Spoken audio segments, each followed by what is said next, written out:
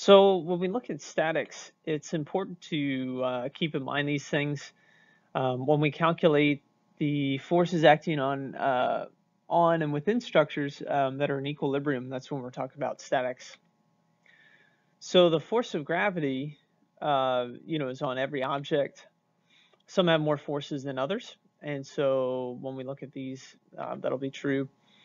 And when we talk about uh, equilibrium, first condition of equilibrium, um, we have to look at the fact that the sum of the forces in the x and y are zero. Sometimes we'll uh, have two equations for two unknowns as we look at that. And um, we'll go ahead and start out with uh, this problem here, where we have a chandelier um, hanging from a ceiling. And we have a, uh, two forces acting here, the force applied up at an angle with the rope to the ceiling, and then FB with the force of the rope to the right there, and then the we have the force of gravity down uh, on the chandelier. And what we want to find out is what is FA and what is FB. And so what we're going to do, um, we know that it's in equilibrium, so there's no acceleration. You know, the chandelier is being held up by these two forces. And what we can do is we can set up our forces in the x and y and, you know, figure out what's going on. So let's go ahead and write out the forces in the x equals ma in the x and the forces in the y equals ma in the y. So in the x direction, we have um, the positive FB.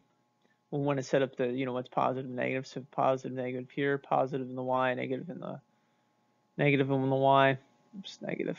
Okay, so positive FB plus, um, if we look at this here, right, we have FA, that is, we are going to have to break down in the x and y components. So we have FA in the x, which is in the negative, so negative FAX. And then that all balances out to be zero. In the y direction, we have the positive FAY plus the negative force of gravity, that's balanced as well, right? So when we look at that, we have, you know, the force of gravity here, 1960, 1960 newtons plus FAY. So it turns out that the force applied on the Y up here counteracts the force of gravity. So we know what FAY is then. And if we look at the x direction and we look at, you know, FAX here, we know FA is the hypotenuse. So to get FAX, uh, cosine is addition of the hypotenuse, right? So the cosine of, uh, well, this is an alternate interior. It's 60 degrees up here. It'd be 60 degrees down here. So cosine of 60 equals adjacent over the hypotenuse, which is FA. So yeah, so in here we would have um, cosine, negative cosine 60 times FA plus FB equals zero. And knowing this, right, we know what FAY is. So if we set up our triangle, uh, FAY, we know what that is. We can find what FA is using trig, the 60 degrees.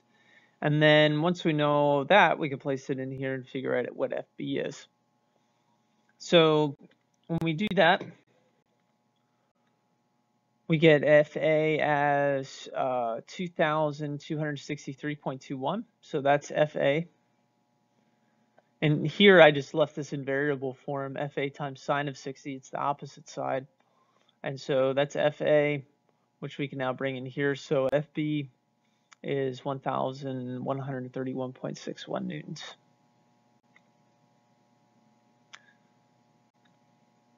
Okay, so in this one, what is the minimum tension strength an engineer would need to use for a stage light that is hung by two wires in an auditorium? The light's mass is 400 kilograms. There are two wires that can be hung.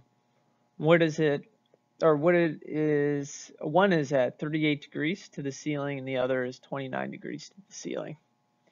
So let's go ahead and draw that. and we've got our you know two wires here, one at 38 degrees, one at 29 degrees. Now in this one, we have two forces at an angle.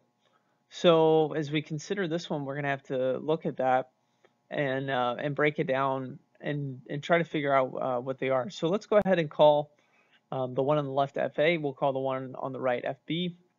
So let's put it in variable form FAY, FAX, FBX, and FBY. Acting on the the stage light, we can set up our sum of the forces in the X and Y. So in the X, we have the positive FBX plus the negative FAY and the Y direction. Well, then we can, you know, uh, set those equal to each other.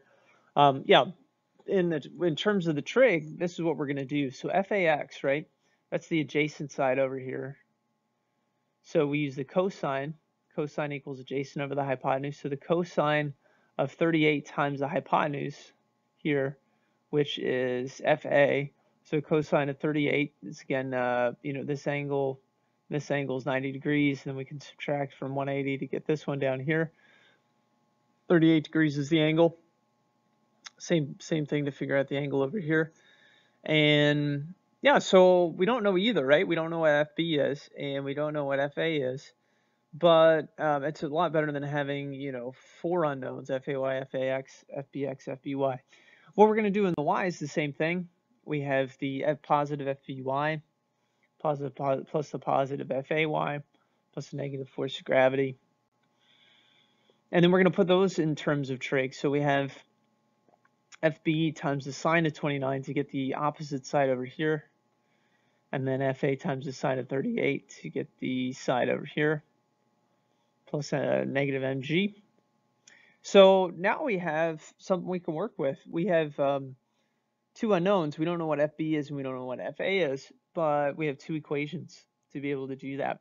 So what we can do is, um, you know, use the two equations, two unknowns. Um, we'll just solve for FB over here. Then what we're going to do is we're going to take this and place this in for FB. And when we do that, all we're left with on the right hand side over here is FA and we can solve for what FA is. So what I want you to do is go ahead and pause the clip, um, substitute that in there and see if you can work through the algebra and go ahead and solve for what FA should be.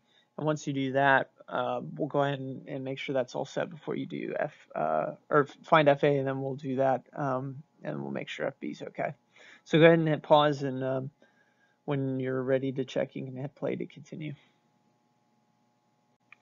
All right, so we'll place that in there and multiply there across the top. So if we multiply sine of 29 times the cosine of 38, we can do that, get a value, and then divide by the cosine of 29. We'll get this value here. And then we have this FA times sine of 38, um, which we can add the FAs together. So FA times 1.0525 and plus or minus 3920 equals zero and we can solve for FA. So FA comes out to be 3,724.596. We place that in for FB and that's the strength FB needs to be. So if the engineers are considering, you know, what the strength that they want, then you know they're they're going to want to have some safety margin on top of that. They're not, you're not going to want to have a you know, a wire that's only 3725, right? You're going to want some safety margin. But the engineers would need to know, you know, uh, how much it would need so that the test of the line, you know, how much, how many, uh, how many newtons this can take, uh, you know, is considered there.